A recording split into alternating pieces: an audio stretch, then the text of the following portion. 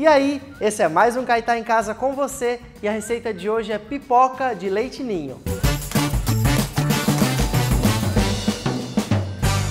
Essa é uma dica perfeita agora para os dias mais frios. Pipoca de leite ninho fica uma delícia e você vai ver como é fácil preparar. E para fazer essa receita você vai precisar de uma xícara de açúcar, uma xícara de grãos de pipoca, meia xícara de óleo, uma xícara de água e uma xícara de leite ninho.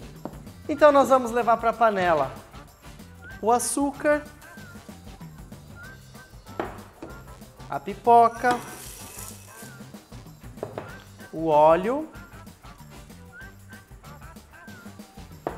E sim, a água também vem nessa parte do processo. Ou seja, nós vamos levar todos os ingredientes com exceção do leite ninho.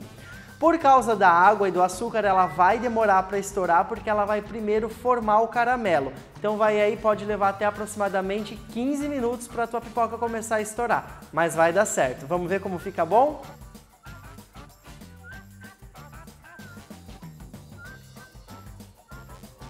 Então você vai ver que a nossa pipoca sai caramelizada da nossa pipoqueira e ainda quente temos que jogar o leite ninho. Olha só.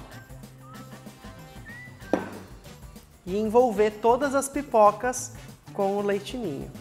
E ficou prontinha a nossa pipoca de leite ninho. Olha só que delícia. E ela fica bem soltinha e depois que ela esfria, ela fica bem crocante. Também não tem problema fazer para comer um pouquinho depois, porque ela não vai murchar. Essa foi a receita de hoje do Caetá em casa com você. Faça aí a sua pipoca nos dias frios com um bom chimarrão. Conta pra gente como ficou.